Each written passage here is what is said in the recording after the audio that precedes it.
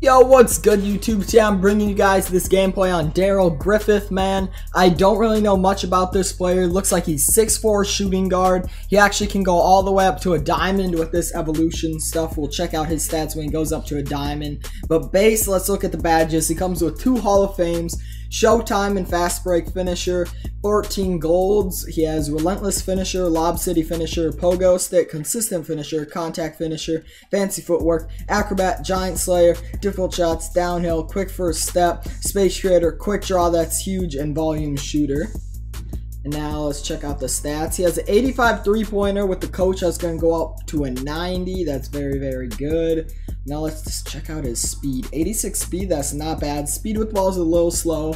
But I mean, now let's see what he go what happens when we bring him into a diamond. So when you evolve him to a diamond, his three-pointer goes up to an 87, his mid-range goes up to an 89, driving layup up to a 94, his lateral quickness goes up to an 85 from 80, his defense gets a lot better.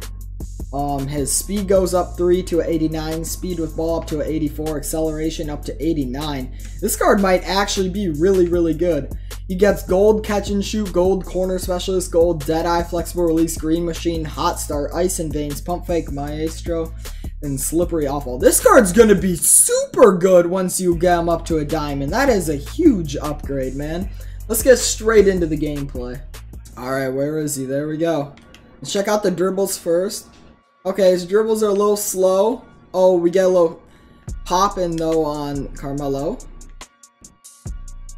Okay, that's room. Okay, his release is kind of fast. I definitely, if he did not have gold quick draw, this card would not be good. There we go, that's good step back, easy. Easy three for him to start it off. He got room again, it's moving though. He still drills it, okay.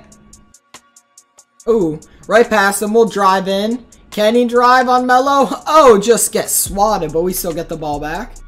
He left him open. That's green light. Too easy.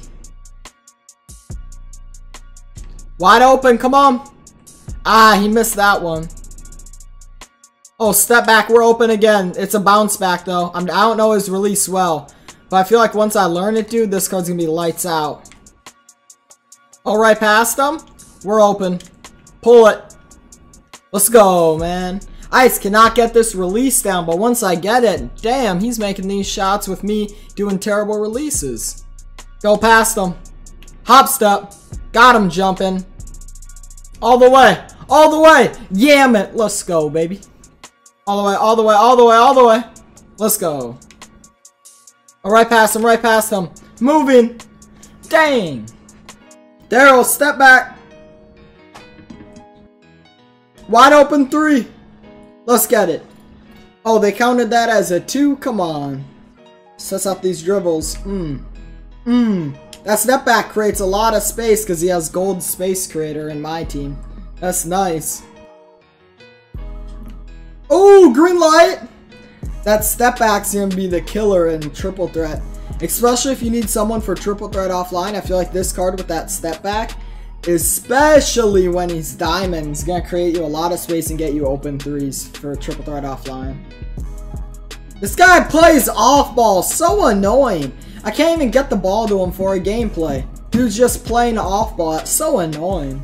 Alright guys, so my final thoughts on that card. Sorry about that last game. The guy was literally off-balling and double teaming. I couldn't get much with him, but I was still trying to. But I mean, this card, he is okay right now as an Amethyst. When he goes up to a Diamond, I feel like he's going to be really, really, really good. His shot's weird, but it's still fast once you learn it. It'll take some time to learn it. But once you get this card up to a Diamond too, he has that gold space creator with that step back that creates a lot of space. He's going to be really cheese for triple threat offline. He's going to help you guys out a lot. Get those easy, easy fast threes and triple threat offline. I think he'd be a good spot up shooter too because he gets gold catch and shoot when he becomes a diamond for unlimited and everything. But yeah, guys, for the price he's going for, I'm, I'd wait a little bit, but that's also because he just came out. I'd wait a little bit to get him.